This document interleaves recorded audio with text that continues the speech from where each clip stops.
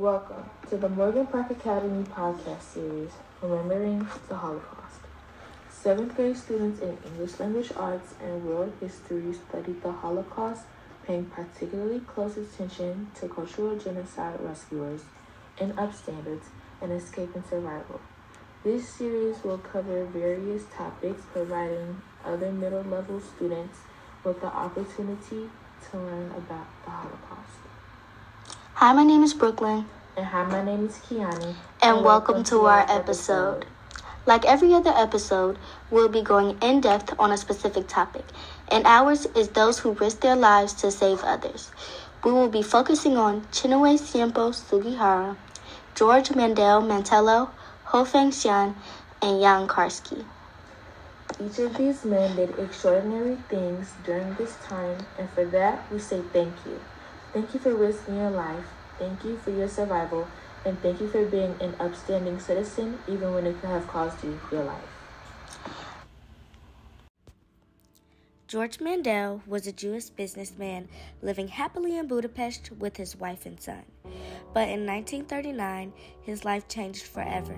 Nazis were a threat to him and his family, just like many other Jews, so they had to be- find a way to become essentially invisible to them but because of his job as a businessman, he had earlier become friends with El Salvadorian Consul General Colonel Jose Arturo Castellanos, who two years later invited him to work for him in Switzerland. Not long after he started working for Cornell, he added Mantello to his name to further remain unknown, just in case the Nazis had come after him. But after but soon after that, Nazis had begun to sweep through Europe for European Jews. Many Jews had begun to do anything they could to survive, asking for money, jobs, ways to escape, anything they could just to survive. And one day, a group of people asked Mandel for money to flee the country. But instead of saying yes, he said he felt disrespected not because they asked him for money, but because he knew that this was the only thing that they would be able to ask for because of the circumstances the Nazis put them in. Mandel declined the proposal, but he said, Forget about the money. We're going to find something more direct and powerful to do. So, the operation had begun. First, he had to get the approval from Cornell, and once he got the stamp of approval, it was game time. This was not a one man operation, and it couldn't be a one man operation. It was way too hard for him to do by himself, so he hired university students to help him. He had began issuing thousands of visas a day, and later in 1939, he contacted the El Salvadorian foreign minister to get people to help issue visas send rescue groups and helpers, but there was but there was no way that the uh, that the foreign minister would send help. So for over 2 years he had continued issuing visas with that system. But in 1944 he had to use the visas to save his own family, which he thank God did successfully. And after World War II, Mandel was finally free and decided to settle in Rome. But in 1992, he sadly passed away in 19 in 2010. Castellanos was declared righteousness among the nations by Yad Vashem, Israel's World Holocaust Remembrance Center. He's the first El Salvadorian to be given this honor, and I believe if Mandel were able to see the impact that he did in the U.S. today, he would be so proud. And he is remembered in many places, but one of the places is the United States Holocaust Museum.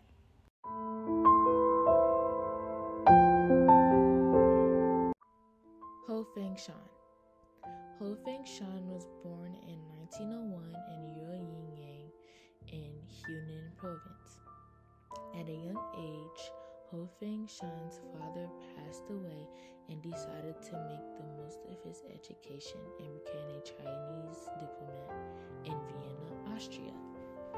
A year after he arrived in Vienna, anti Semitism acts began to take place, and less than a month later, the first Austrian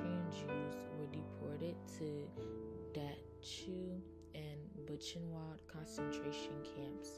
So he enabled thousands of visas to Austrian Jews, enabling them to escape Nazi repercussion.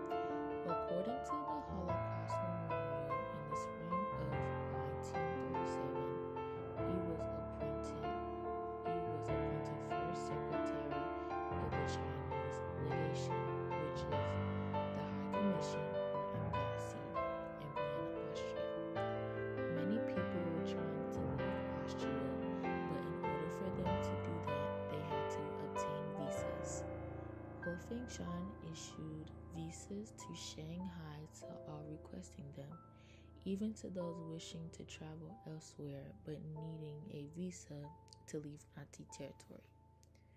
Many of those helped by Ho Feng Shan did indeed reach Shanghai, either by boat from Italy or overland via the Soviet Union.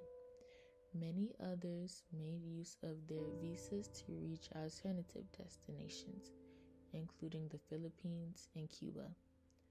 The amount of visas that were given was unknown, but around 70,000 Austrian Jews died from the Nazis. According to the Holocaust Memorial Council General, Ho Feng Shan's immediate supervisor, supervisor Chen Jie, the Chinese ambassador in Berlin, was dominantly opposed to giving visas to Jews. He wanted good diplomatic relations with Germany and did not want to undermine Hitler's anti Semitic policy. Having learned that the Chinese Council in Vienna, Austria, was issuing large numbers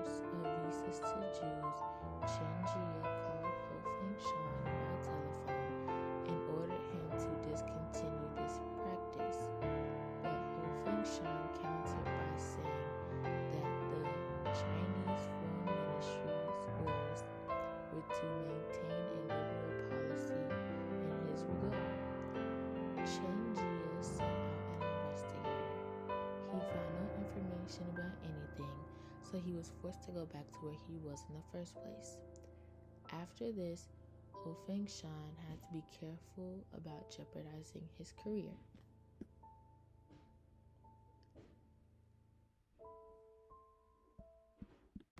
Chiune Sempo Sugihara was born on January 1st, 1900.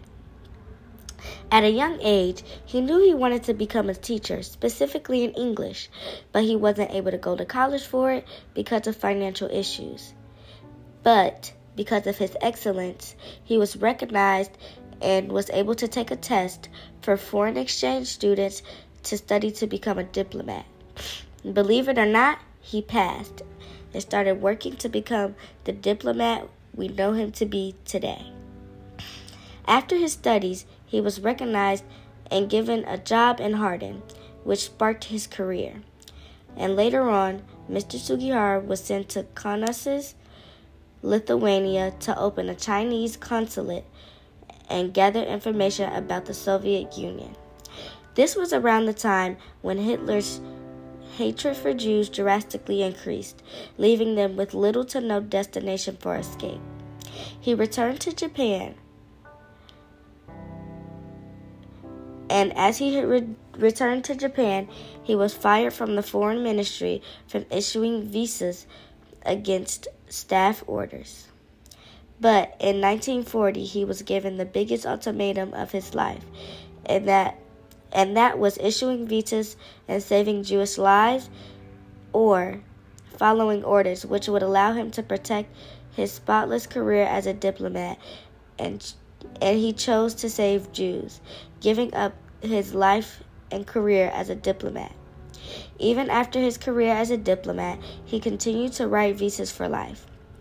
After a while, he knew it was time to leave Lithuania and move on. It was time to him for him to start a new life. And his last visa was given through the train window out of Lithuania. He had issued over 2,139 visas for life, and for that we say thank you.